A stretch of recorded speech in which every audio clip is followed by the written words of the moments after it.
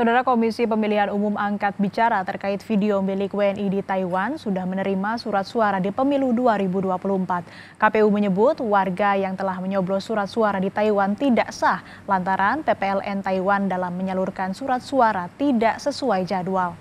Ketua Komisi Pemilihan Umum Hashim Asyari membenarkan video WNI yang telah mencoblos surat suara pemilu 2024 melalui metode pos di Taiwan.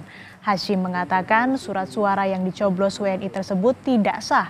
Alasannya dilakukan tidak sesuai dengan jadwal peraturan KPU yang mana pada nomor 25 tahun 2024. Panitia Pemilihan Luar Negeri atau PPLN Taiwan seharusnya mengirim surat suara kepada pemilih pada 2 Januari hingga 11 Januari 2024.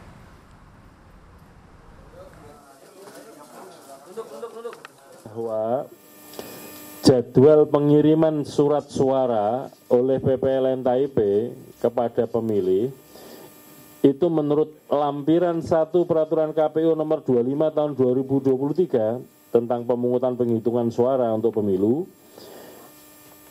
mestinya dijadwalkan tanggal 2 Januari 2024 sampai dengan 11 Januari 2024. Tapi faktanya PPLN Taipei sudah mengirimkan itu mendahului dari yang sudah dijadwalkan pada tanggal 18 Desember 2023 maupun gelombang kedua tanggal 25 Desember 2023 kami nyatakan surat suara tersebut masuk kategori surat suara rusak dan tidak diperhitungkan dalam pencatatan penggunaan surat suara dalam formulir model C hasil LN POS.